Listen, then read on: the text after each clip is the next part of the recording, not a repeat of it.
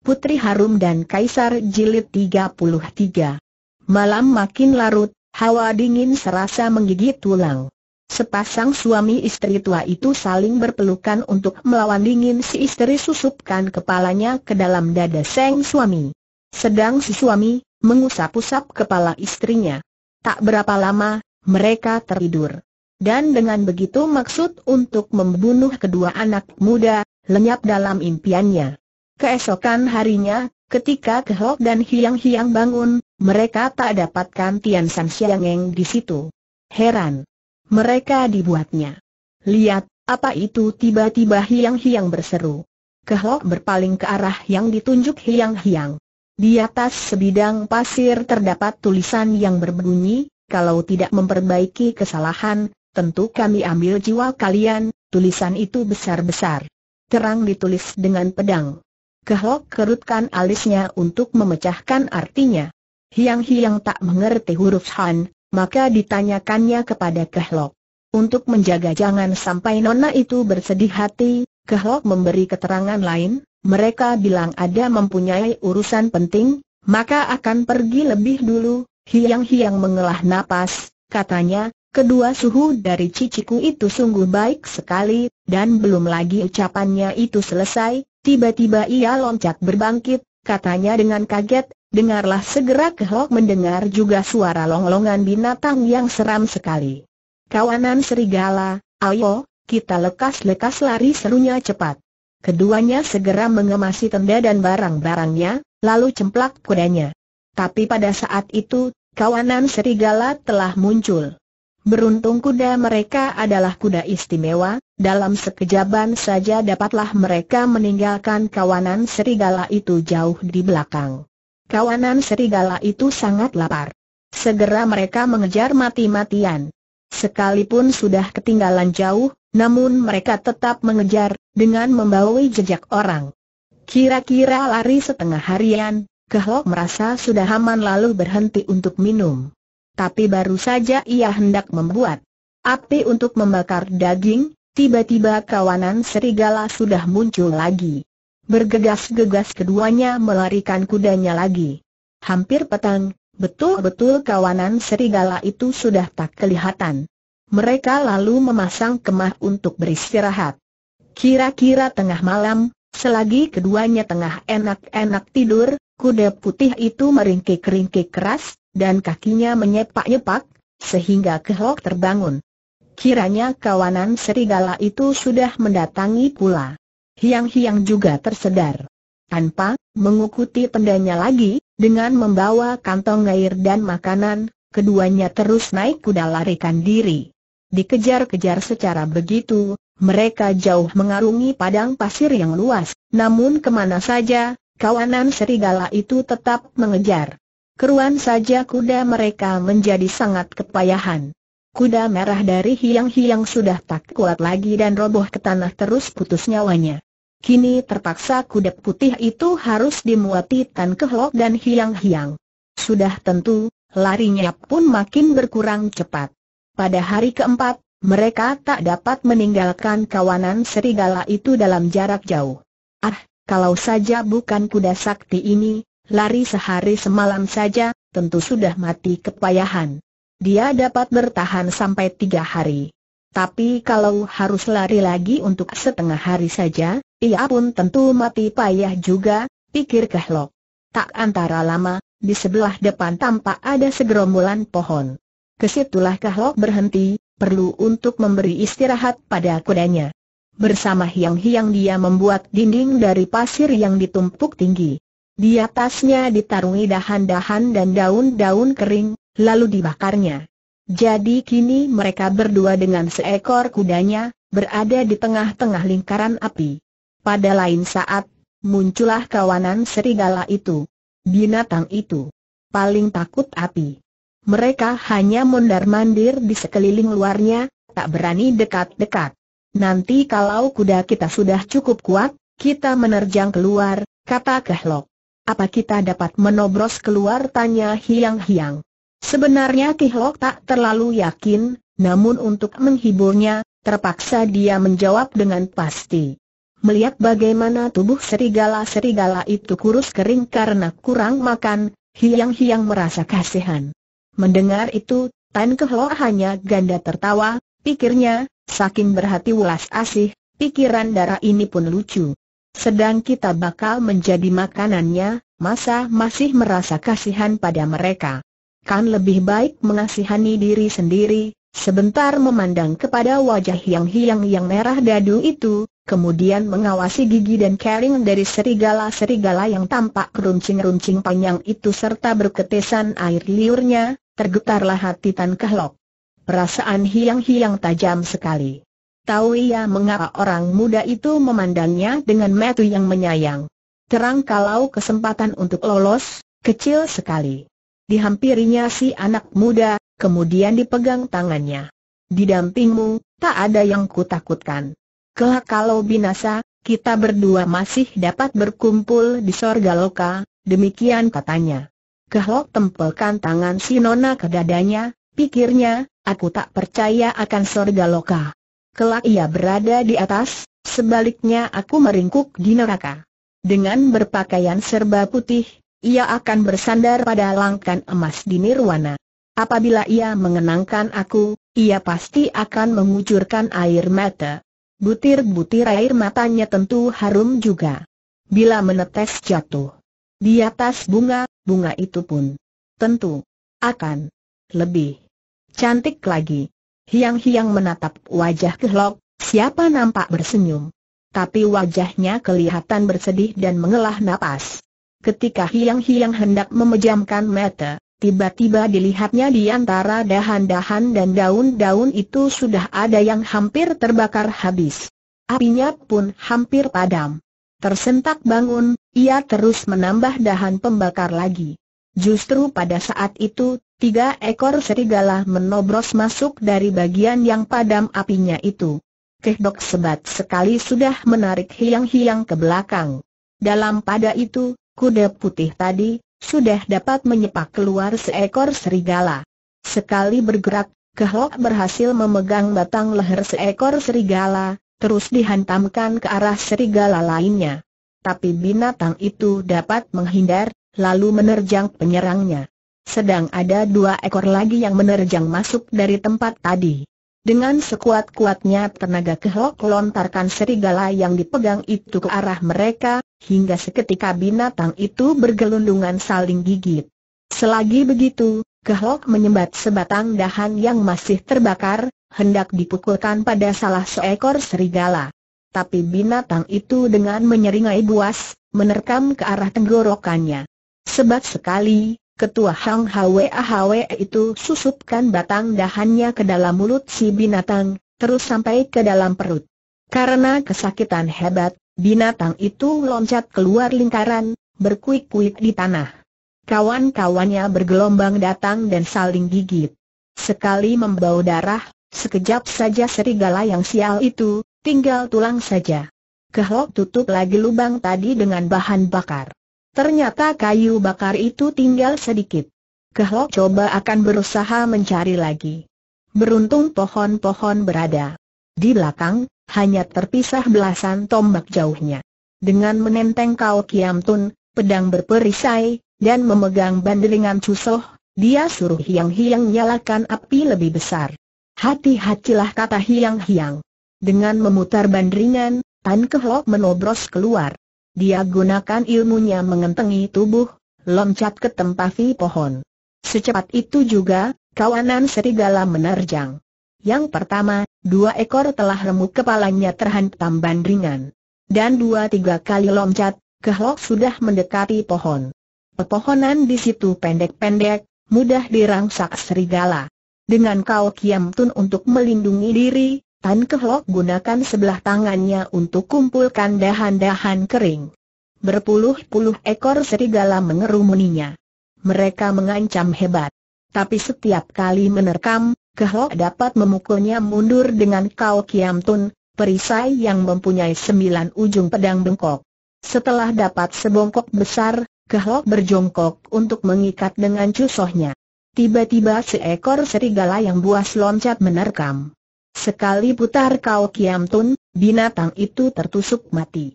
Tapi karena pedang pada perisai itu bengkok seperti kait, binatang itu tertancap tak bisa lepas. Kehlok buru-buru menariknya terus dilemparkan kepada kawanan serigala itu, yang terus ramai-ramai memakannya. Menggunakan kesempatan itu, dia berhasil kembali ke dalam lingkaran berapi tadi. Hiang-hiang menyambut dengan girang sekali sambil susupkan kepalanya ke dada orang.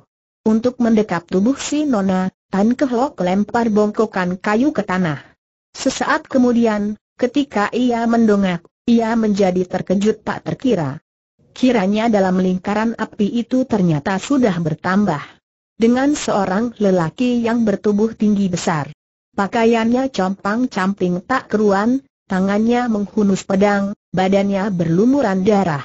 Dengan tenang dan dingin orang itu menyandang Tan Kehlok. Dia bukan lain jalan seteru besarnya, Hwe Chiu Poan Koan Tio Chiao Chong.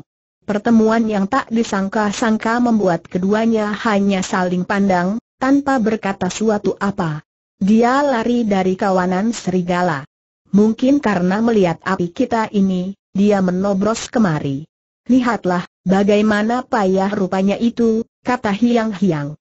Hiang Hiang menuang air dalam sebuah cangkir, lalu diberikan pada Chiao Chong, siapa terus menegaknya habis sekaligus. Dengan lengan baju, dia pesut keringat dan noda darah di wajahnya. Tiba-tiba Hiang Hiang menjerit kaget, demi teringat bahwa orang itu ialah pembesar utusan kaisar yang pernah bertempur dengan Tan Kehlok ketika di markas besar Jenderal Tiao Hwi dulu itu. Kemudian pernah bertempur dengan Bun Tai Lei dalam lubang perangkap tempo hari. Dengan terlongong-longong, Nona Ui itu mengawasi Chiao Chong. Mari, silakan kawan seru Kehlok siap dengan kau Kiam Tun dan cusohnya. Chiao Chong mengawasi dengan mati melotot. Tiba-tiba dia terhuyung jatuh ke belakang. Kiranya setelah menolong Horta, ia hendak terus mengejar Tan Kehlok. Tapi di tengah jalan ia berpapasan dengan kawanan serigala. Horta mati dimakan binatang-binatang buas itu. Dia sendiri berkat kepandaiannya yang liai, berhasil lolos. Sehari semalam penuh, dia larikan kudanya, sehingga tunggangannya roboh mati kepayahan. Dengan menahan lapar dan dahaga, ia lari berjalan kaki. Sehari penuh. Ketika menampak ada api, ia paksakan diri untuk menghampiri.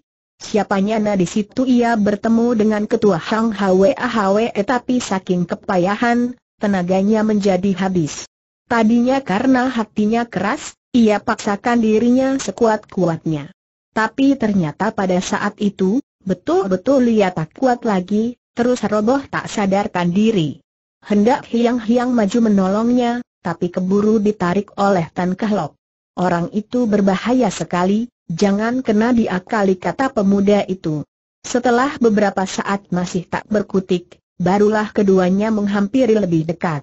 Hiang-hiang percikan air dingin pada keningnya, dan memberinya minum susu kambing. Sesaat kemudian, Chiao Chong bisa sadar.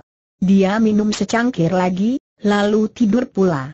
Kehlok diam-diam bersyukur, karena rupanya Allah mengirim orang jahat itu jatuh ke dalam tangannya. Untuk menghabisi jiwanya, adalah mudah sekali. Namun hati nuraninya mengatakan bahwa membunuh orang yang tak berdaya itu, bukan laku seorang kuncu, gentleman. Apalagi kalau mengingat hiang-hiang yang berhati welas asih itu, pasti kurang senang bila nampak hal yang demikian itu. Namun kalau mengampuninya, bila ia sudah cukup bertenaga, dikuatirkan ia sendiri menderita kekalahan. Berpaling kepada hiang-hiang, dilihatnya sepasang metu nona itu mengembang air mata. Apa boleh buat, Kehlok terpaksa mengampuni sekali lagi pada penjahat itu. Dalam pada itu dia mengharap, agar penjahat itu mengingat keadaan di sekelilingnya dapat diajak bahu-membahu melawan kawanan serigala. Lewat beberapa saat, Chiao Chong bangun. Hiang-hiang memberikan sepotong daging bakar dan membalut luka 1140. Lukanya bekas digigit serigala itu. Bahwa manusia itu, bagaimanapun jahatnya, tentu masih ada setitik hati yang baik. Demikian pula Chiao Chong. Ia malu dan menyesal, bahwa perbuatannya jahat dahulu itu telah dibalas dengan kebaikan oleh kedua orang muda itu. Tioto Ako, kini kita sama-sama dalam bahaya, permusuhan dahulu untuk sementara, biarlah kita sisihkan. Kita harus bekerja sama mencari jalan lolos, kata Kehlok. Benar, kalau kita bertengkar, tentu kawanan serigala yang girang, sahut Chiao Chong. Kembali dia mengasuh untuk pulihkan tenaganya. Kelak kalau dapat lolos dari kawanan serigala ini, lebih dulu akan ku bersihkan kongcu itu, baru dapat ku bawa si cantik itu. Untuk itu, Baginda tentu akan menganugerahi hadiah yang besar, diam-diam dia merenung. Tidak demikian dalam pikiran. Tan Kehlok. Waktu itu dia sedang mencari daya bagaimana bisa lolos dari bahaya kepungan serigala. Teringat olehnya bagaimana tempo hari Cheng Tong telah membuat long Yan, asap kotoran serigala, untuk menyampaikan berita. Begitulah dengan gunakan cusoh, dia berhasil menggaruk setumpuk kotoran serigala, lalu dibakarnya. Segulung asap yang tebal, membubung ke udara. Taruh kata ada orang yang melihatnya, mereka pun tak nanti berani menolong kemari. Kecuali ada ribuan pasukan besar, barulah kawanan serigala itu dapat diusir, kata Chiao Chong menggelengkan kepala. Tahu juga bagaimana kecil harapan itu, namun masih juga kehlok mencobanya, daripada tidak ada daya sama sekali dan mati konyol. Malamnya, mereka menambah bahan bakar lagi dan bergiliran tidurnya. Orang itu jahat sekali, kalau aku tidur, harap kau berhati 1141. Hati mengawasinya, bisik kehlok pada hiang-hiang, siapa kelihatan mengangguk. Kehlok taruh tumpukan kayu itu di tengah-tengah antara dia dengan Chiao Chong. Ini untuk menjaga, apabila dia sedang tidur, jangan sampai Chiao Chong berbuat jahat. Sampai tengah malam, kawanan serigala itu melolong makin riuh. Ketiga orang itu kaget terbangun. Ternyata ribuan serigala itu tengah mendungak ke atas sambil meraung-raung dan melolong-lolong menyeramkan sekali. Sampai pun serigala yang sudah dijinakan menjadi binatang pemburu masih juga kebiasaan itu diteruskan. Keesokan harinya, kawanan serigala itu masih berkeliaran di sekitar lingkaran api belum mau pergi. Satu-satunya harapan dalam pikiran kehlok, mudah-mudahan ada kawanan onta liar yang menyasar ke situ, barulah serigala-serigala itu mau tinggalkan tempat itu untuk mengejar mangsa baru itu. Tiba-tiba dari kejauhan, kembali ada segelombang serigala mendatangi. Celaka, kawanan mereka datang lagi, kehlok kerutkan jidatnya. Di antara kepul debu, tiba-tiba ada tiga penunggang kuda lari mendatangi. Di belakangnya tampak beratus-ratus serigala mengejarnya. Ketika sudah dekat, kawanan serigala di seputar lingkaran itu, lari menyambutnya. Kini ketiga orang itu terkepung dari dua jurusan. Ketiga orang itu ternyata sangat lihai. Dengan memutar senjatanya, mereka melawan mati-matian. Lekas tolong mereka supaya kemari, seru hiang-hiang. Ayo, kita tolong mereka ke Hok ajak Chiao Chong. Dengan menghunus senjata, keduanya menuju ke sana. Dalam sekejap saja, terbukalah sebuah jalan darah dan masukilah ketiga penunggang kuda tadi ke dalam lingkaran api. Di atas salah seekor kuda itu, ada lagi seorang yang kedua tangannya terikat, tengkurap di atas pelananya. Tubuhnya lemas tak berkutik. Dilihat dari dandanannya, ia itu seorang nona bangsa UI. Ketiga penunggang kuda tadi, segera menurunkan nona itu. Cici Cheng Tong sekonyong-konyong hiang-hiang menjerit kaget, terus lari menubruk tubuh nona itu. Kehlok pun tak kurang kagetnya. Memang nona itu, adalah Cheng Tong. Hiang-hiang mengangkat tencinya itu, muka siapa kelihatan pucat pasi dan matanya tertutup. Kiranya setelah Cheng Tong mengejar suhu dan sukongnya, di tengah jalan bersua dengan Samu. Karena masih lemah, dengan mudah ia dapat ditawannya. Dalam perjalanan pulang, Cheng Tong sengaja menyesat ikan, sehingga mereka kesasar di tengah gurun raja. Kebetulan mereka lihat asap long, dan, maka mereka menuju ke situ. Tak tahu kalau di situ mereka hampir kehilangan jiwanya di serbu kawanan serigala, syukur ketolongan oleh Tan Kehlok dan Chiao Chong. Jangan dekat kemari, kau mau apa bentak Kim Piao sambil kibaskan Lak Hou Jah sewaktu Kehlok akan menghampiri Cheng Tong. Pada saat itu, Cheng Tong telah suman. Demi dilihatnya Kehlok dan adiknya berada di situ, ia terlongong-longong. Lekas suruh mereka lepaskan Cici, hiang-hiang meratap pada Kehlok. Kalian ini siapa mengapa kalian tawan, sahabatku segera Kehlok tegur Kim Piao. Belum Kim Piao menyahut, It Lui segera maju ke muka. Dia awasi ketiga orang itu dengan dingin. Katanya, Jiwi tadi telah mengulurkan pertolongan, lebih dulu di sini aku haturkan. Terima kasih. Mohon tanya nama kalian yang mulia, belum kehlok menyahut, tiba-tiba Chiao Chong telah mendahuluinya, dia adalah ketua Hang Hwa Hwe, Tan kehlok seketika Sam memelengak. Dan mohon tanya Chuan sendiri punya nama kembali Ed Lui bertanya. Aku yang rendah orang Sitio, nama Chiao Chong, Jawab Chiao Chong dengan tembrang. Didahului oleh suara di hidung, Ed Lui berkata, hektometer, kiranya Hwe Chiu Poan Koan. Tak mengherankan kalau kalian berdua sedemikian lihainya, dia pun lalu perkenalkan diri mereka. Diam-diam Tan Kehlok mengeluh dalam hati. Belum lagi bahaya serigala terhindar, kini tampil pula empat orang lawan yang tangguh. Dia mengambil putusan, lebih dulu hendak berusaha membebaskan Cheng Tong, baru nanti melihat keadaan selanjutnya. Ku minta segala permusuhan antara kita ditangguhkan lebih dahulu. Kita sedang menghadapi kawanan serigala.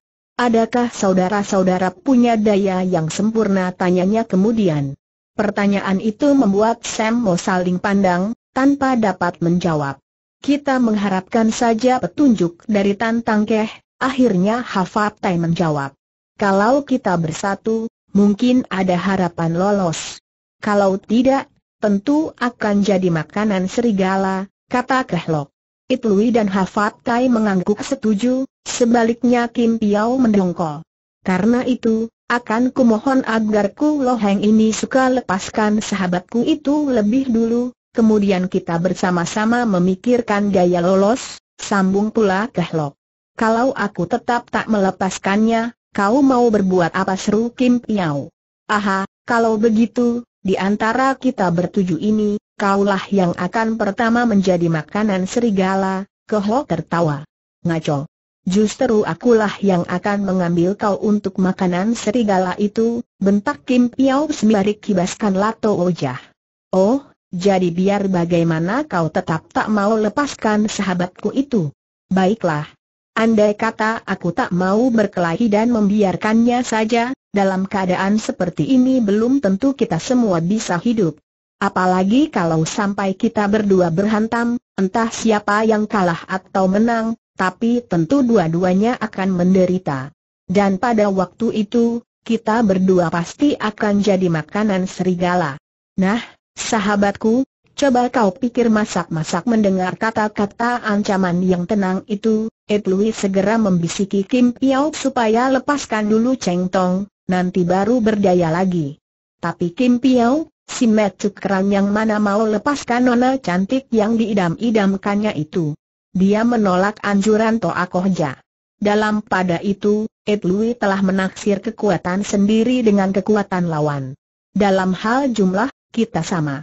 Tapi konon telah kesohor bahwa permainan pedang dari Hwe Chiu Poan Koan itu jarang terdapat tandingannya di kalangan persilatan. Tadi kusaksikan betapa lihai gerakan ketua Hang Hwe Hwe itu melawan serigala. Dan masih ada itu gadis, yang tentunya juga bukan jago sembarangan. Kalau terjadi pertempuran, terang kita kalah, demikian pikir jago kuantong itu. Tak sedikit pun ia menyangka bahwa Chiao Chong yang paling tangguh di antara mereka bertujuh itu, ada di pihak Kuhantong Semu. Dan hiang-hiang sedikit pun tak mengerti nol puntul ilmu silat. Ketidaktahuan inilah yang menyebabkan Lui Jerry, lalu membisiki Kim Piao, Loji, kau mau lepaskan apa tidak? Kalau sampai terjadi perkelahian, aku takkan membantumu tapi Kim Piao bukan Kim Piao si macuk keranyang, kalau dia begitu gampang-gampang menyerah. Tahu ia akan kemasyhuran nama Chiao Chong, maka ia memilih untuk tantang Tan Kehlok saja yang tampaknya bertubuh lemah itu. Aku sih tak berkeberatan, tapi Lak Hou Jah kau inilah mungkin tak mau. Maka kalau kau dapat menundukkannya tentu ia suka melepaskan nona itu. Hanya kita ini kaum Enghiong, sebaiknya harus berkelahi satu lawan satu, untuk menentukan siapa yang unggul, sebenarnya dalam keadaan waktu itu, Kehlok enggan berkelahi. Karena terang yang untung, adalah kawanan serigala. Maka ia sedikit ragu-ragu tak lantas menyaut. Jangan khawatir, aku takkan membantu siapa apa, kata Chiao Chong tiba-tiba. Kata-kata itu benar ditujukan pada Tan Kehlok, tapi sebenarnya adalah sebagai anjuran halus pada Kim Piao supaya jangan ragu-ragu membinasakan lawan. Sudah tentu Kim Piao bersorak di ang hati, serunya segera dengan congkak. Kalau kau juri, jangan usil urusan lain orang lagi. Kalau berani, Mari silakan, dengan tangan kosong atau pakai senjata, aku suka melayani. Tiga saudaraku angkat telah terbinasa di tangan orang Hang Hwa Hwe, maka kebetulan hari ini akan kutuntut pembalasan, diungkapnya soal kebinasaan ketiga saudaranya itu, adalah sengaja ditujukan pada Betului dan Hafatai. Agar mereka suka membantu, karena ia berkelahi bukan untuk kepentingan sendiri tapi untuk menuntut balas. Waktu Kehlok menatap wajah Cheng Tong yang saat itu mengunjuk sorot mata kegusaran. Kedua taci adik ini sama-sama menaruh hati padaku. Biarlah aku membalas budi mereka. Kematianku malahan akan dapat menghindarkan aku dari kesulitan. Aku tak berani menjatuhkan pilihan kepada mereka, karena takut salah satu tentu akan hancur hatinya. Dengan pertimbangan itu, Tan Kehlok segera berkata dengan suara tetap, Nona ini adalah sahabatku yang akrab. Sekalipun harus kubayar dengan jiwaku, tetap akan kuminta kau melepaskannya Matu Cheng Tong bercahaya. Tahu ia bahwa orang muda itu masih belum padam perasaannya kepada dirinya. Aku pun pertaruhkan jiwaku untuk nona ini sahut Kim Piao. Bagus, kalian boleh berkelahi sampai ada yang mati salah satu seru Chiao Chong dengan tertawa. Mendengar itu, tahulah Sam bahwa orang Siti itu mempunyai ganjilan dengan Tan Kehlok. Begini sajalah. Kalau kita saling berhantam, entah kau atau aku yang terbunuh, tak memberi faedah pada siapa pun juga. Lebih baik kita sama-sama menobros keluar. Siapa yang lebih banyak sekali membunuh serigala, dialah yang menang dengan usul itu, hendak Tan Kehlok mengurangi ancaman serigala. Segera Hafat Tai menyatakan setuju. Baik, kalau Tan Tangkeh yang menang, Kujiko ini akan menyerahkan nona itu padanya. Tapi kalau Kujiko bisa lebih dulu membunuh sepuluh ekor, Tan Tangkeh tak boleh berbantah lagi kembali Chiao Chong unjuk kelicinan lidahnya. Kehlok dan Kim Piao menjadi gusar dan menolak usul jahat itu. Karena membunuh serigala, keduanya tak mempunyai harapan besar untuk menang. Pada pikiran Tan Kehlok, dengan bersenjatakan Lak Hou Jah, garu pemburu harimau, tentunya Kim Piao dapat membunuh banyak sekali serigala. Sebaliknya Kim Piao pun takut kalah dengan lawan. Kalau hendak bertempur, aku siap mengadu jiwa. Tapi kalau mengajak segala tetek bengek permainan anak-anak, aku tak sedia menemani, katanya. Aku yang rendah ini, walaupun baru pertama ini berkenalan dengan kalian bertiga, namun telah lama ku dengar nama kalian yang kesohor. Sedang dengan tantang keh ini, betul tempo dulu pernah bentroh, tapi sekarang hal itu tak perlu diungkat-ungkat lagi. Sebagai pihak netral, akan kuusulkan suatu cara yang dapat mengakhiri persengketaan kedua belah pihak, tanpa merusakkan perhubungan masing-masing, kata Ciao Chong pula. Itu girang karena keterangan itu buru-buru dia menyanggapi, silakan Tio Toako mengatakan. Kita pasti menurut, dalam keadaan dikepung kawanan serigala, kalau saling berhantam akibatnya sama-sama celaka. Bukankah kata-katamu tadi begitu? Tantang Keh Tan Kehlok mengangguk. Dan kalau bertanding membunuh serigala, Kujiko ini merasa keberatan, menganggap bukan cara mencari penye. Jesayan yang baik.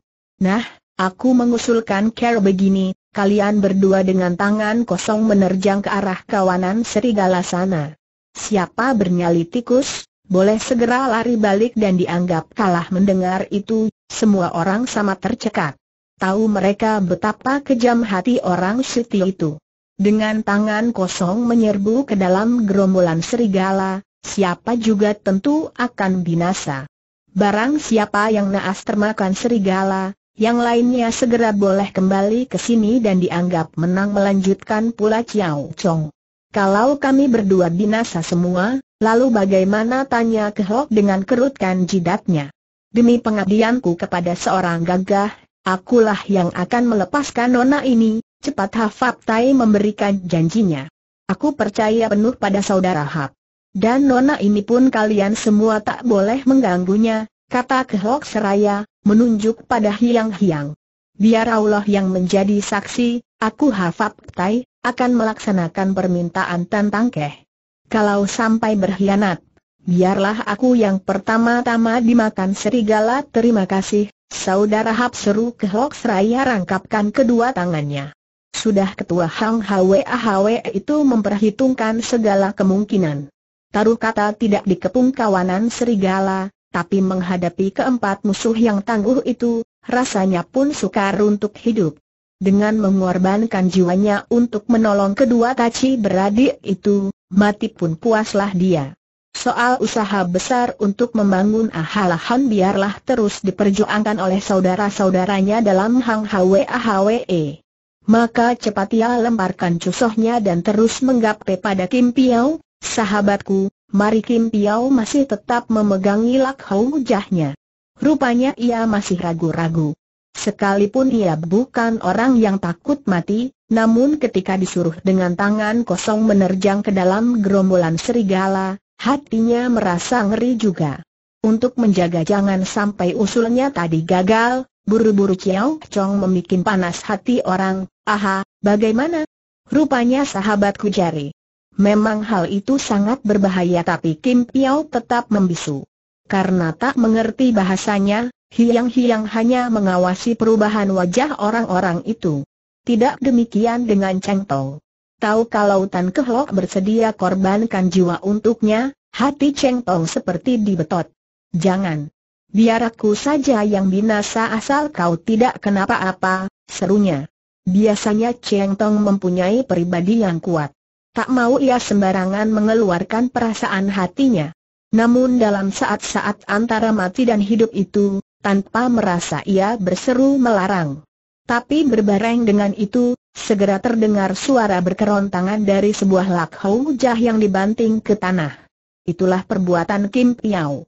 Dia begitu sirik akan rasa kasih yang diunjukkan Cheng Tong kepada si anak muda itu. Mukanya merah seperti terbakar. Dia memang berada belangasan. Sekali angot, apa pun tak ditakutinya. Sekalipun nanti separuh tubuhku digeragoti serigala, tetap aku pantang balik lebih dulu dari dia. Ayo katanya segera. Kehok memberi sebuah senyuman pada Cheng Tong dan Hiang Hiang, terus bersama Kim Piao menerjang keluar. Melihat itu, pingsanlah Cheng Tong seketika. Sebaliknya Hiang Hiang hanya mengerlingkan sepasang biji matanya yang hitam bundar, tak tahu apa yang terjadi di sekitarnya itu. Tahan tiba-tiba Rit Lui berteriak. Karena itu, kedua orang itu pun merandek. Tan Tiang Keh, kau masih menyimpan badi-badi, kata Rit Lui. Memang benar Kehlok masih membawa badi-badi pemberian Cheng Tong. Dia memang kelupaan, bukan mau main curang. Maaf, aku kelupaan, dia tertawa seraya mengambil badi-badi itu dan menghampiri Cheng Tong. Jangan berduka. Pandanglah badi-badi ini, berarti kau memandang aku, katanya mesra. Pedang diserahkan pada Cheng Tong siapa kelihatan cemas sekali sampai tak dapat mengatakan apa-apa. Tiba-tiba nona itu teringat sesuatu, bisiknya, tundukkanlah kepalamu kemari segera kehlok seperti disedarkan. Cepat dia berpaling kepada Chiao Chong, katanya, Tio To aku, tadi aku kelupaan masih membawa badi-badi. Sekarang ku minta kau menjadi saksi untuk memeriksa tubuh kami Chiao Chong segera menggeledah badan kedua orang itu. Kujiko, harap kau tinggalkan senjatamu rahasia itu kata Chiao Chong ketika dapatkan Kim Piao masih membawa senjata. Dengan geram Kim Piao keluarkan belasan batang garpu kecil terus dibanting ke tanah. Sikapnya tiba-tiba berubah, sepasang matanya seakan-akan semerah darah. Secepat kilat dia menghampiri Cheng Tong, terus memeluknya. Sesaat dia akan mencium si Nona, tiba-tiba punggungnya dirasakan dicengkeram orang, terus disentak ke belakang. Selama masuk dalam perserikatan Kuantong Liok Mo Kim Piao sering berlatih dengan semua saudaranya angkat. Dia cukup kenal siapa yang berbuat itu. Dan memang itulah Hafatai. Laoji, kau tahu malu apa tidak bentak Hafatai dengan bengis. Dibanting tadi, Kim Piao agak pusing. Dengan menggerung, ia loncat keluar ke arah gerombolan serigala. Dengan enjot kakinya, Kehok gunakan kepandaiannya mengentengi tubuh. Sekejap saja ia sudah susul berada di depan Kim Piao. Kawanan serigala yang tengah kelaparan itu, segera menyambut dalam gelombang besar. Kim Piao juga lihai. Dengan ilmu silat Tiang Kun yang terdiri dari 81 jurus, ia merupakan tokoh silat yang dimalui. Tahu ia bahwa pada saat itu ia tengah menghadapi maut, maka dicurahkan seluruh perhatiannya. Dua ekor serigala lantas menyerang dari dua jurusan. Dia berkelit dan secepat kilat tangan kanan telah dapat mencengkeram batang leher seekor serigala, sementara tangan kiri pun dapat menangkap ekor serigala yang lain terus diangkat ke atas. Dalam dunia persilatan memang ada ilmu yang disebut Tengko Ai, kabarnya dahulu Hiap, seorang tokoh silat yang tangguh, ketika sedang mencari angin di luar, tiba-tiba didatangi musuh, yang mengepung dari empat jurusan lengkap dengan senjatanya. Hiap tidak membawa senjata apa-apa, terpaksa dia gunakan bangku panjang, dingklik, untuk bertempur. Dalam sekejap saja, musuh-musuhnya telah dapat disapu, ada yang binasa, luka dan melarikan diri. Kepandaian itu turun-temurun dan merupakan ilmu silat Tengko Ai, atau bangku panjang, dingklik. Pun Kim Piao bermaksud gunakan serigala itu sebagai dingklik. Dengan jalankan jurus dari ilmu silat Tengko Ai, dia menghantam ke sana sini. Dan hasilnya pun mengagumkan, karena kawanan serigala itu tak berani dekat. Di lain pihak, Tan Kehlok gunakan lain macam kepandaian. Sewaktu menurunkan ilmu silat Pehoa Jokun yang diciptakannya sendiri, maka lebih dulu Tian Tiko Ai Hiap ajari muridnya itu segala macam ilmu silat dari berbagai cabang persilatan. Waktu itu Tan Kehlok keluarkan ilmu pukulan Pat Kwa Yeu Sim Chiang, yang lincah sambil lari ke sana kemari. Sebenarnya ilmu itu, adalah ilmu istimewa dari Witin Hoshok Ong Hwe Yang, itu kepala Piao Su dari Tinuan Piao Wak Hiok. Ketika bertanding lawan Chiao Chong di Bukit Pakaonia, dengan ilmu itu, Ong Hwi yang telah merangsak lawannya sedemikian rupa, hingga lawan hanya dapat membela diri, tak berdaya untuk membalas. Ketika pertempuran di Tiatan Chun tempo hari, Tan Kehlok pun gunakan ilmu itu untuk melayani Chiu Tiong Ing bermula kawanan serigala itu montang-manting dibuatnya. Tapi karena serigala itu berjumlah besar, lagi pula sangat lapar, maka ke mana saja Kahlok bergerak, ke situlah dia telah diserbu. Karenanya, dia tak dapat bergerak dengan leluasa. Buru-buru ia merogoh geretan api yang segera menyala, terus diputar-putar. Sekalipun nyala api itu hanya kelak-kelik, namun kawanan binatang itu menjadi ketakutan dan mundur. Mulutnya dingangakan, sikapnya seperti akan menerkam, tetapi hanya melolong-lolong tak berani bergerak. Setelah kehlok menerjang keluar, buru-buru hiang-hiang menghampiri cicingnya dan bertanya, Ci, dia ke mana? Untuk menolong kita berdua, dia rela korbankan diri, sahut Cheng Tong saya memesut air matanya. Bermula hiang-hiang terperanjat, tapi segera ia tertawa, kalau dia binasa, aku pun tak mau hidup, Mendengar ucapan sewajarnya dari adiknya itu, tergeraklah hati Cheng Tong. Bahwa hiang-hiang tanpa banyak sekali pikir dan tanpa mengunjuk perasaan apa-apa, terus mengatakan begitu, terang mencintai Tan Kehlok secara mendalam. Di lain pihak, Chiao Chong merasa girang ketika siasatnya berhasil. Tapi dia telah menjadi terkejut sewaktu nampak Tan Kehlok dapat mengenyah binatang-binatang itu dengan kipas apinya. Tapi lekas juga hatinya menjadi terhibur, karena beranggapan, api itu tak dapat bertahan lama. Jadi hanya soal penundaan waktu saja. Sedang perhatian Itlui dan Hafat Tai hanya ada pada Kim Piao. Bermula girang hati mereka, karena Kim Piao telah unjuk kegagahan. Saat itu, Kim Piao hantamkan serigala yang dipakainya sebagai senjata tadi, kepada seekor serigala yang lompat menyerang dua-duanya adalah serigala buas yang kelaparan, maka mereka lantas saling gigit, yang satu menggigit muka, yang satunya menggigit tengkuk. Kedua-duanya sama berlumuran darah. Melihat darah, kawanan serigala itu tambah kalap. Serentak mereka menyerang Kim Piao. Dan pada lain saat, Dua ekor serigala yang dicengkeram tangan kanan dan kiri Kim Piao tadi, telah dibuat rebutan makan oleh kawan-kawannya. Sekejap saja, serigala yang di tangan kiri, tinggal kepalanya. Sedang yang di tangan kanan, tinggal bebokong dan ekornya. Kini Kim Piao terancam bahaya. Hendak dia mencoba tangkap lain serigala lagi, tapi binatang-binatang itu sudah pandai. Setiap tangan Kim Piao bergerak, mereka membuka mulut terus akan menggigit. Terlambat sedikit saja, sebelah tangan Kim Piao tentu sudah tergigit. Dan berbareng itu, dari arah kanan ada dua ekor serigala yang lompat menerjang. Terhadap watak yang kejam dan suka paras cantik dari Kim Piao itu, sebenarnya Hafatai tidak puas. Tapi orang Mongol ini ada seorang laki-laki yang berambekan tinggi. Berbareng mencabut Juan Pian dari pinggang, dia kedengaran berteriak, Letua, aku akan menolongnya belum sempat Tit Lui menjawab Cheng Tong sudah mendahului mengejek, apakah Kuan Tong Liokmu bukan laki-laki? Tak punya kehormatan Hafab Tai merendek. Juga keadaan kedua orang yang berada di tengah bahaya maut itu pun telah berubah. Nyala kipas api yang dibawa Tan Kehlok hampir habis. Buru-buru dirobeknya lengan bayunya untuk disulut. Dalam pada itu, ia bergerak mendekati pohon. Mendadak dua ekor serigala yang buas, loncat menerkam. Dia cepat mendek, terus menyusup ke bawah, sembari patahkan sebuah cabang pohon, terus berputar dan menghantam salah seekor penyerangnya itu. Kepala serigala itu hancur, otaknya berhamburan, terus diserbu oleh kawan-kawannya sendiri yang kelaparan itu. Penyerangan terhadap ketua Hong Hwa Hwa itu, agak kendor. Ini digunakan olehnya untuk memotes sebuah dahan kering, yang setelah dibakar terus diputar untuk mengusir serigala.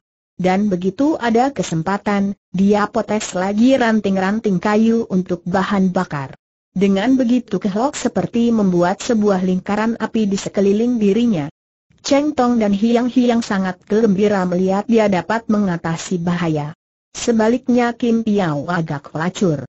Ingin dia meniru Tan Kehlok, tapi ia tak membawa geretan api. Jalan satu-satunya, ia terpaksa tempur binatang-binatang itu secara mati-matian.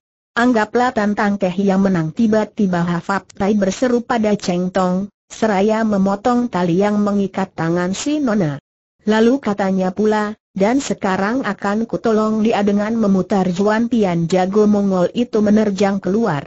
Baru beberapa tindak jauhnya, kawanan serigala bergelombang menyerbunya. Malah pahanya dua kali kena tergigit lapun dapat membunuh dua ekor serigala besar, namun tetap tak dapat maju. Losu, kembalilah Hitlui cemas memanggilnya. Hafat Tai kembali untuk mengambil sepotong dahan yang terbakar, terus akan menerjang lagi tapi jaraknya sangat jauh dengan Kim Piao, siapa waktu itu sudah dihampiri kawanan serigala pula. Tantang keh, kau menang. Sahabatmu telah kami bebaskan. Berlakulah murah untuk menolong saudara kami itu demikian Hafatai berteriak sekeras-kerasnya. Kehlok kelihatan melirik dan tahu Cheng Tong betul sudah dilepaskan. Dia girang. Untuk menghadapi kawanan binatang buas ini, Tambah seorang sahabat ada lebih baik, pikirnya. Maka cepat ia melemparkan sebatang dahan kayu terbakar pada Kim Piao. Sambutlah serunya. Kedua lengan dan kaki orang Shiku itu sudah berlumuran darah. Begitu menyanggapi dahan api itu, terus diputarnya kawanan serigala itu terpaksa mundur. Dan Kim Piao menuju ke tempat Tan Kehlok, siapa kembali lempari sebatang dahan api lagi. Dengan memegang dahan api di tangan kanan kiri, Kim Piao pulih keberaniannya. Kita bekal lagi sebongkok ranting seru Kehlok. Begitulah setelah keduanya membawa sebongkok ranting kayu, terus menuju ke tempat lingkaran api tadi. Dengan melolong riuh rendah, kawanan serigala itu memberi jalan pada mereka berdua. Begitu dekat, Hiang-hiang sudah lantas pentang kedua tangannya untuk menyambut Tan Kehlok, siapa pun sudah loncat masuk. Tahan, biar dia yang masuk dulu cepat Cheng Tong mencegahnya. Kehlok sadar, ia merandek sebentar dan berpaling ke belakang untuk mempersilakan Kim Piao masuk dulu. Benar Kehlok telah menolong jiwanya, namun dalam perjanjian tadi ada disebut siapa yang kembali masuk lebih dulu, dianggap kalah. Dia khawatir orang Shiku itu main licik. Dengan metu berapi-api, tiba-tiba Kim Piao timpukan dahan api ke muka Kehlok, dan menyusul tangannya mendorong punggung orang, maksudnya supaya terdorong masuk ke dalam lingkaran tadi. Tapi kehlok egoskan tubuhnya ke samping, dan tangan Kim Piao lewat di sisinya. Namun orang Shiku itu tak berhenti sampai di situ.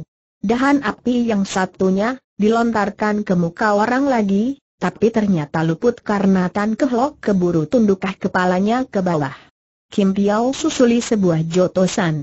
Malah belum lagi jotosan itu tiba, jotosan yang kedua menyusul. Inilah keistimewaan dari ilmu silat Tiang Kun, cepat sebat. Melihat kelicikan orang titik kehlok besar sekali. Dengan tangan kanan ia akan tutup pergelangan tangan orang, sedang tangan kirinya mengancam ke muka orang. Itulah salah satu jurus dari ilmu silat Pehoa Jokun, yang gunakan ujung jari seperti pedang. Seumur hidup Kim Piao belum pernah saksikan ilmu silat yang aneh semacam itu. Untuk menghindari, terpaksa ia bergerak mundur, dan ini justru tepat menginjak kepala seekor serigala. Saking kesakitan, binatang itu meraung keras sekali. Kehlok masih gemas, ia rabu lawannya dengan jurus-jurus berbahaya dari Pek Hoa Jokun, menghantam, menabas, menotok dan menyodok. Itui dan orang-orang yang berada dalam lingkaran api itu, bukan main kaget dan herannya melihat gerak ilmu silat si anak muda yang luar biasa itu. Sepasang jari tangan kiri ketua Hang Hwa Hwa itu mengancam jalan darah Tai yang hiat pada pelipis Kim Piao, siapa buru-buru menangkisnya dengan sebuah pukulan. Dia pastikan, Tan Kehlok tentu mundur menghindar. Tapi ternyata tidak, hanya mengirim sebuah tendangan yang tepat mengenai paha Kim Piao, siapa menjadi sempoyongan. Dan dalam saat itu, tahu-tahu pukulannya tadi kena ditangkap lawan, terus akan ditariknya. Kim Piao kaget dan kerahkan tenaga untuk menarik, tapi baru saja dia menarik, musuh batal menarik dan berbalik mendorongnya. Sudah tentu tak tertahan lagi, ia terjerumus ke belakang. Kalau sampai jatuh, hebatlah akibatnya. Dia tentu akan dibuat pesta oleh kawanan serigala. Maka semua orang sama berteriak kaget. Tapi Kim Piao juga lihai. Dengan gerak lehai tafing atau ikan lelem meletik loncat ke atas, tiba-tiba ia mencelat ke atas raya kasih kerja pukulannya kepada seekor serigala, dan dengan berjumpalitan, akhirnya dia berhasil jatuhkan kakinya ke tanah. Tan Kehlok membarengi melesat ke sampingnya, dua kali jarinya menutup, satu pada lutut dan satu pada pantat. Celaka-celaka seru Kim Piao yang walaupun tak dapat bertahan untuk berdiri, masih coba akan tekankan kedua tangannya untuk loncat lagi ke udara. Kawanan serigala datang mengerumuni lagi, tapi kehlok lebih cepat. Punggung Kim Piao dicengkeram, terus diputarkan. Tapi Kim Piao betul-betul bandel. Sekalipun separuh tubuhnya bagian bawah tidak dapat berkutik, masih dia coba berlaku nekat. Sepasang kepelannya maju berbareng, menjotos dadatan kehlok, maksudnya hendak mati bersama-sama. Bangsat keras kepala memaki kehlok, jari tangan kirinya kembali menutup jalan darah Tiong Hu dan Soan Ki, Sehingga baru kepelan Kim Piao melayang, lengannya dirasakan lemas dan teklok. Dengan memutar tubuh Kim Piao, Kehlok loncat menghindar dari terkaman serigala, terus akan melemparkan tubuh lawannya itu ke arah serigala yang berada di tempat jauh. Jangan dibunuh Cheng Tong berseru keras-keras. Kembali Tan Kehlok disedarkan dari keburu nafsunya. Ah, dengan membunuh penjahat ini, aku tetap terancam, terutama mengikat permusuhan hebat pada Kuantong Liokmo. Lebih baik kuampuni, dengan budi itu, Mungkin kalau nanti bertempur dengan Chiao Chong, mereka bertiga tentu berdiri di pihak netral, pikirnya. Sebagai gantinya, orang Shiku itu dilemparkan ke dalam lingkaran api, dengan ia sendiri terus menyusul masuk. Hafat Tai menyanggapi tubuh Kim Piao. Dengan begitu, pertandingan kali ini telah dimenangkan Kehlok. Segera pemuda ini hendak menghampiri Cheng Tong dan Hiang Hiang, tiba-tiba Cheng Tong berteriak. Awas, belakang. Kehlok cepat mendek ke bawah, dan dua ekor serigala besar melayang melalui kepalanya. Kiranya, itulah dua ekor serigala yang sudah kalap karena laparnya, terus menerjang masuk. Yang seekor, langsung menerkam hiang-hiang. Syukur Kehlok berlaku sebat, ia loncat memburu dan menarik ekornya. Serigala itu menggerung kesakitan, terus balik menyerang. Di samping itu kawannya juga berbareng menerjang. Tapi kehlok menghantam kena leher salah seekor, yang terus berguling ke tanah. Sambutlah ini Cheng Tong Tong lemparkan badi-badinya, barang mana begitu disanggapi oleh Tan Kehlok terus ditusukkan kepada serigala yang menerjang tadi. Serigala ini luar biasa besarnya, dan gesit sekali dua kali Tan Kehlok menusuk, dua kali dapat dihindari. Berbareng itu, Kembali ada tiga ekor serigala yang menyerbu masuk. Yang satu, dapat dibanting keluar oleh Hafatai. Yang satu lagi di batas kutung oleh Chiao Chong, sedang yang lainnya sedang dihajar oleh Hit Lui. Buru-buru Hafatai tambahkan bongkokan dahan-dahan kayu yang dibawa Kiem Piao tadi ke tempat yang berlubang, barulah kawanan serigala itu menyingkir. Saat itu Kehlok pura-pura menyerang ke sebelah kiri, Ketika si serigala menghindar ke kanan, cepat sekali badi-badi ditarik dan ditikamkan ke sebelah kanan. Karena sukar menghindar, serigala itu pentang mulutnya menggigit ujung badi-badi. Kehlok mendorong ke muka sekuat-kuatnya, tapi sekalipun lidah serigala itu kepotong, dia tetap matikan menggigit badi-badi. Juga ketika Kehlok menarik ke belakang, tetap mulut serigala itu tak mau melepasnya. Sampai badan binatang itu terangkat naik, tetap binatang itu pantang lepaskan gigitannya. Kehlok agak gelisah, karena serigala yang seekor tadi menyerang lagi. Buru-buru dia berkelit ke samping, mengangkat kaki dan mendupak keluar serigala itu dari lingkaran api. Setelah itu, dia gunakan tangan kiri untuk menghantam batu serigala yang menggigit badi-badinya tadi. Binatang itu mundur ke belakang dan kehlok rasakan tangannya longgar. Sebuah pedang tercabut keluar. Hawa dingin membuat orang-orang merasa bergidik. Sinarnya memencar jernih ke hijau-hijauan. Dan yang tak kurang mengherankan, adalah serigala itu sendiri. Hantaman kehlok telah meremukan kepalanya, namun mulutnya masih menggigit sebatang badi-badi. Padahal terang badi-badi itu ada juga dalam tangan Tan Kehlok. Dari manakah badi-badi di mulut serigala itu? Kehlok maju selangkah, dengan tiga jari tangan kirinya, dia jepit badi-badi di mulut serigala, terus ditarik sekuat-kuatnya. Dia adalah seorang ahli tutuk yang lewekangnya sangat lihai. Namun mulut serigala yang sudah putus nyawanya itu, tetap terkancing seperti terpaku. Saking gemasnya, Kehlok tabas batang kepala binatang itu dengan pedang pendeknya yang mirip badi-badi itu. Dan buah kepala itu tahu-tahu menggelinding jatuh semudah memotong sayur.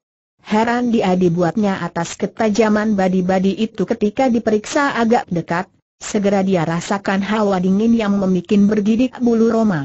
Ujung badi-badi itu berkilau-kilau cahayanya. Bukan lagi badi-badi pemberian cengtong dulu. Hanya anehnya, tangkainya masih seperti tangkai badi-badi yang bermula. Karena penasaran, dipungutnya badi-badi yang terselip di mulut serigala tadi. Ternyata tengahnya kosong, Mirip seperti sarung badi-badi. Dimasukkannya badi-badi tadi ke sarung itu, kiranya pas sekali. Kiranya badi-badi itu adalah sebilah pokyam yang mempunyai dua lapisan. Sarungnya saja sudah merupakan senjata tajam yang hebat, siapa tahu, dalamnya masih terdapat sebuah pedang pusaka yang dapat dibuat memotong segala logam. Ketika menyerahkan kepada anak muda itu, Cheng Tong mengatakan bahwa badi-badi atau pedang pendek itu, menurut sejarahnya, mengandung rahasia besar. Namun selama itu, tiada seorang yang dapat menemukan. Kalau tidak ada peristiwa serigala itu, tiada nanti rahasia itu terbongkar. Memegang pusaka itu, bukan buatan kegirangan kehlok. Dia menggapai pada taci beradik itu, dan merundingkan Carol meloloskan diri. Sengaja mereka berbahasa UI, sehingga Chiao Chong dan Sam Mo itu tak mengerti maksudnya. Waktu itu Lit Lui telah dapat menghantam mati serigala musuhnya tadi. Dengan belati, dipotongnya keempat paha binatang itu, lalu dipanggang. Hi, lekas buang, kalau kamu masih ingin hidup Cheng Tong berseru tiba-tiba. Mengapa tanya Lit Lui? Kalau kawanan serigala itu membau daging bakar, mereka pasti tak tahan lagi kata si gadis. Itui Insyap, cepat ia membuang paha serigala panggang itu. Sementara itu Kim Piao telah ditutup Chiao Chong supaya jalan darahnya terbuka. Luka-lukanya digigit serigala dibalut. Perutnya terasa lapar sekali. Ia memungut paha tadi, terus dimakannya mentah-mentah. Hiang-hiang memain-mainkan pokyam itu. Ia memuji kebagusan senjata itu. Tanpa sengaja, dia membuka sarung badi-badi, dan nampak di dalamnya terselip sebutir benda merah. Digoyang-goyang dan dituangkan, tapi tak bisa keluar. Ia mengambil tusuk konde untuk mengungkit, dan sebutir pil kecil menggelundung keluar. Pil itu terbungkus lilin, oleh yang-yang diberikan pada kehlok. Bagaimana kalau kita pecah lilin pembungkus ini tanya pemuda itu pada Cheng Tong. Cheng Tong mengangguk. Sekali pijit, lilin pembungkus itu pecah. Di dalamnya terdapat sepuluh gulungan kertas kecil. Kertas itu tipis seperti sayap yang kerik. Karena usianya, warnanya kekuning-kuningan. Di atasnya tertulis beberapa huruf UI, sedang pinggirnya ada sebuah gambar peta yang memuat gunung, sungai, gurun dan lain-lain. Ciao Chong yang sedari tadi pasang mata, tahu bahwa peta itu tentu menyimpan rahasia. Sengaja ia mondar-mandir untuk menambah kayu bakar, tapi sebenarnya ia hendak mencuri lihat. Tapi karena bertuliskan huruf UI, ia kecewa. Kehlok bisa tulisan UI tapi kurang sempurna. Sebagian besar huruf-huruf UI di kertas itu, adalah huruf-huruf kuno, jadi ia banyak sekali yang tak mengerti. Surat itu lalu diserahkan pada Cheng Tong, siapa setelah melihat dan merenungkan sampai jama sekali, lalu menyimpan ke dalam bayunya. Apa saja yang tertulis di situ tanya Kehlok. Cheng Tong tak menyahut, hanya terus merenung. Cici tengah mengasah otak, jangan diganggu kata hiang-hiang yang cukup kenal perangai cicinya itu. Jari Cheng Tong tampak menggurat-gurat di pasir, melukis sebuah bundaran. Tapi terus dihapus dan menggambar lagi. Setelah itu ia duduk bertopang dagu. Badanmu masih lemah, Jangan banyak sekali berpikir, Kehok memperingatkan. Kalau belum ketemu jawabannya, biarlah lain kali saja. Yang penting kita harus cari daya untuk lolos. Justru daya itulah yang sedang kupikirkan. Kita harus menghindar dari kawanan serigala yang buas dan orang-orang yang berhati serigala itu, sahut Cheng Tong seraya menuding ke arah Chiao Chong. Demi mendengar kata-kata manusia serigala yang diucapkan Seng Cici itu, Hiang-Hiang tertawa, karena baru sekali ini dia dengar istilah baru tersebut. Coba kau berdiri di atas punggung kuda. Pandanglah arah barat, apakah kau melihat ada sebuah gunung yang puncaknya putih? Kata Cheng Tong tiba-tiba dengan bisik-bisik. Tapi Kehlok tak melihatnya. Dia tunggu dan mencari-cari, sampai lama, tapi tetap tak ada. Dia memberi isyarat dengan gelengkan kepala pada Centong. Hektometer, kalau menurut peta ini, kota kuno itu tak jauh dari sini, tentunya puncak gunung kelihatan. Cheng Tong menggerutu. Kota kuno Kehlok loncat turun dan bertanya. Waktu kecil pernah kudengar cerita bahwa di padang pasir ini terdapat sebuah kota kuno. Kota itu dahulunya indah dan kaya sekali. Pada suatu hari, terbit taufan dahsyat di padang pasir luas ini bukit-bukit pasir itu tertiup terbang dan menguruk kota itu. Selaksa lebih penduduk kota binasa semua, bercerita Cheng Tong, lalu berpaling pada adiknya. Moai Moai, rasanya kaulah yang paling paham akan cerita itu, cobalah kasih tahu padanya. Memang banyak sekali macam cerita orang tentang itu, tapi tiada seorang pun yang pernah melihat sendiri, demikian hiang-hiang memulai. Bukan itu saja, karena banyak sekali sudah orang yang pergi mencarinya, tapi begitu menemukannya. Sedikit sekali yang kembali dengan hidup. Kabarnya, di situ terdapat kumpulan besar harta berharga.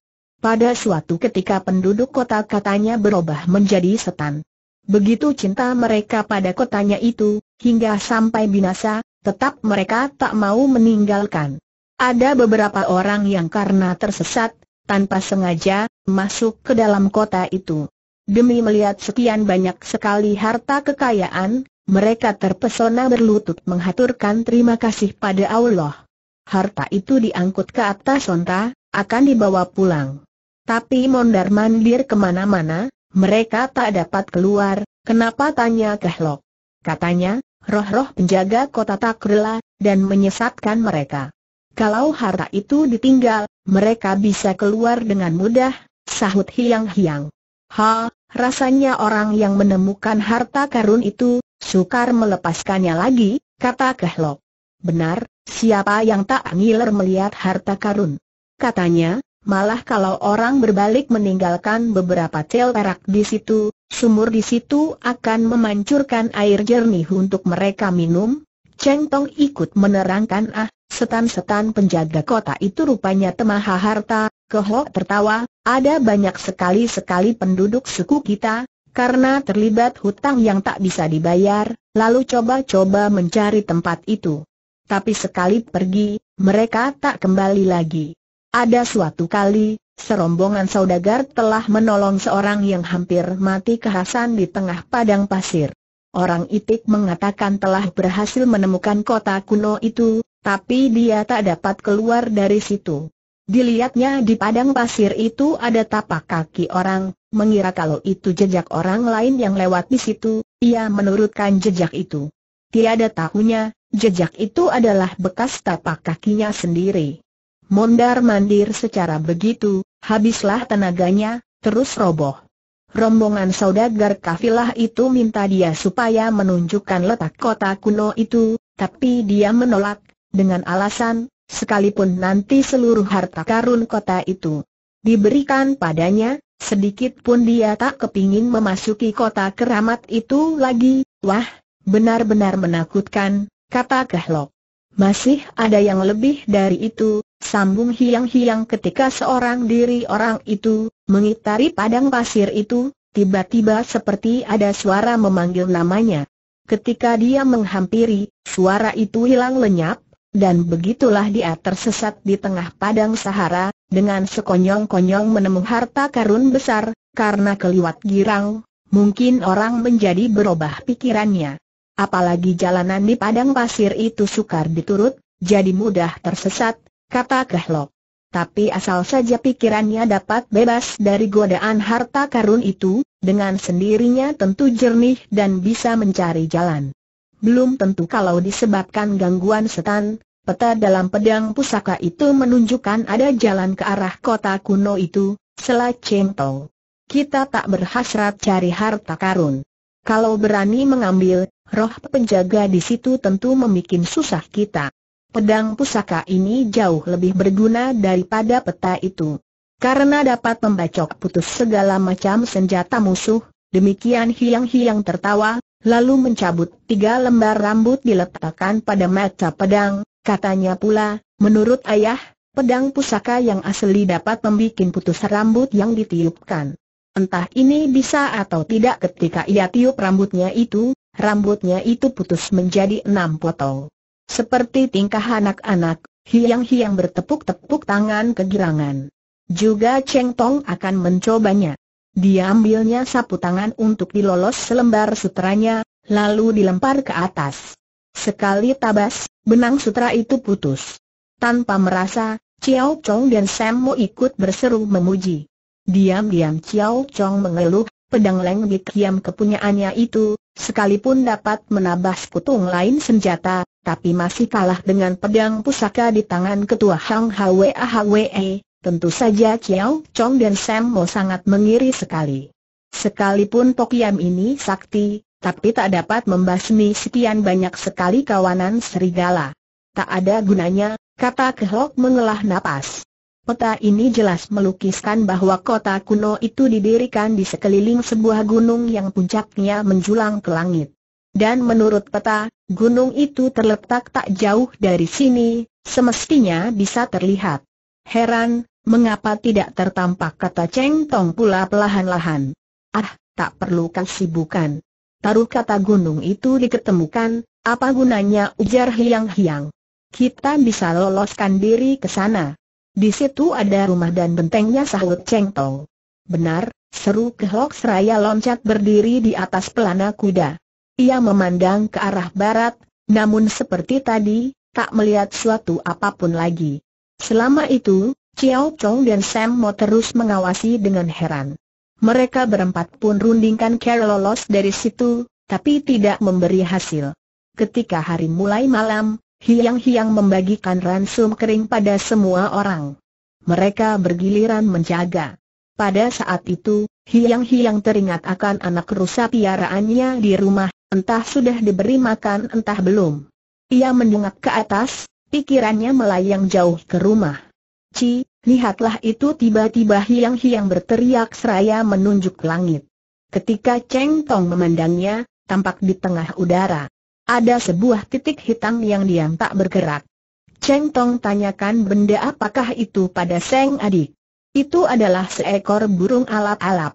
Tadi kulihat burung itu terbang lewat di sini, heran, mengapa bisa berhenti di atas udara Cheng Tong mengira adiknya salah lihat tadi, tapi Hiang-Hiang tetap berkukuh.